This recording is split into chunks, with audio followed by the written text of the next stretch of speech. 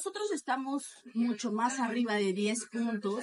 Para nosotros es eh, fundamental desde que nosotros iniciamos campaña, hemos estado caminando, pero no nada más que desde que iniciamos campaña, sino de por sí soy fundadora de Morena y nuestra constante ha sido caminar todo el tiempo, estar muy cercanos a las y a los ciudadanos. Entonces hoy agradezco a mis paisanos, a mis paisanas de que estén apoyándonos y de contar con el respaldo de los ciudadanos ¿Cuáles serían los tres principales ejes que de los que gira la estabilidad eh, de Santa Cruz Jocotlán? Está en crisis de seguridad Jocotlán porque incluso sus propios cuerpos de seguridad han estado involucrados en polémicas por sus presuntos o polémicos eh, manejos que han tenido internamente. El primer compromiso es la revisión de la ley de ingresos, es un tema fundamental, el tema de la seguridad, que es el otro tema también electoral e importante. Por eso hoy también se tiene que ampliar la plantilla de las y los policías, porque hoy los policías que tenemos son insuficientes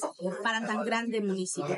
Pero sobre todo también la capacitación, que es ahí donde están las fallas hoy de que no tenemos policías capacitados. Para nosotros es muy importante el tema de la seguridad y sobre todo el compromiso que está haciendo de poner los arcos de seguridad, que es lo que nos va a bajar los índices de delincuencia. Crisis de seguridad, Jojo, ¿usted cómo lo considera como habitante de la, de la cabecera del distrito? ¿Cómo lo ha palpado usted? ¿Está en crisis de seguridad?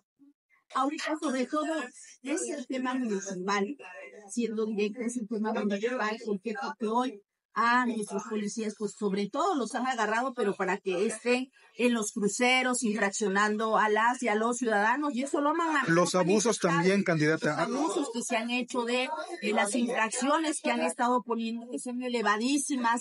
Entonces sí, es un tema que se tiene que revisar en el tema de la seguridad a nivel municipal en el municipio de ¿Es manejable la inseguridad en Jojo? ¿Aún puede el ayuntamiento por sí solo contener los índices de violencia que ha palpado?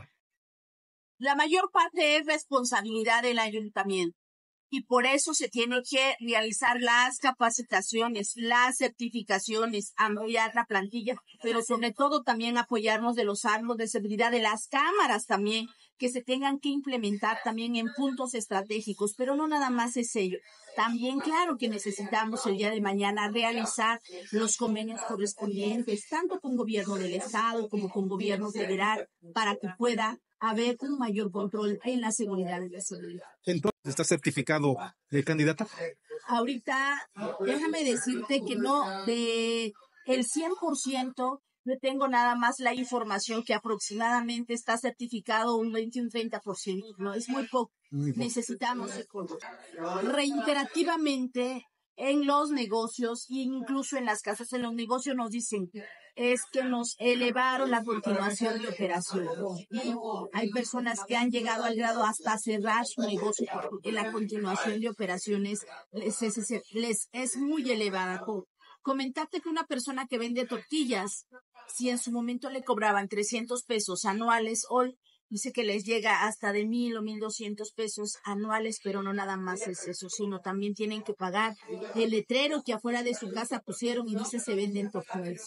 Y así es con todos los negocios. Entonces, eh, en todos los sectores, dimensionando si ese negocio de tortillas así le están haciendo, así le están haciendo al de la tienda, así le están haciendo al de la lavandería, al de la minatería. Entonces, la verdad es que sí, hoy las y los comerciantes es un tema que están solicitando a gritos, pero también las y los ciudadanos en el tema del pago predial.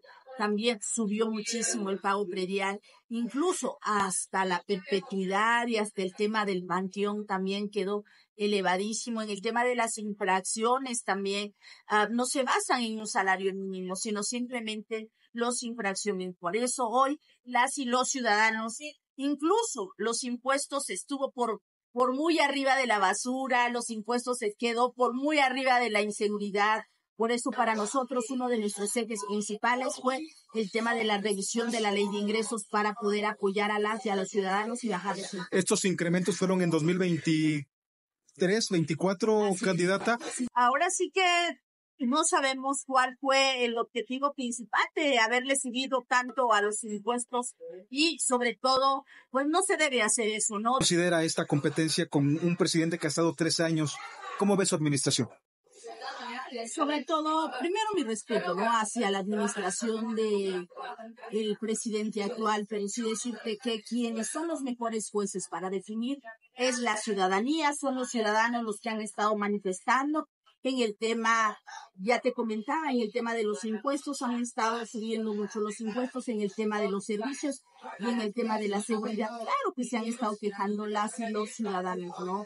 Ese sería mi, este, sobre todo mi, opinión y efectivamente eh, me enteré por los medios de comunicación que eh, me parece que fue la candidatura en común lo que este, le provocó la sala Jalapa. Entonces, ahí cada quien este, es muy, respetable para mí su procedimiento de la forma que lo haya llevado. Yo lo único que hemos estado insistiendo es que haya eh, ese pacto de civilidad que ya se firmó, pues que se lleve a cabo. No es lo único que nosotros pedimos a nivel estatal. También decirte que yo creo que Oaxaca es, en Oaxaca nos conocemos todos, es muy respetado, pero eh, tú sabes que no hubo un convenio de Morena con o acuerdos para que fueran en alguna en las candidaturas, ya sean coalición o las candidaturas en común entre Morena y PT. No, entonces en ese sentido nosotros eh, respetamos.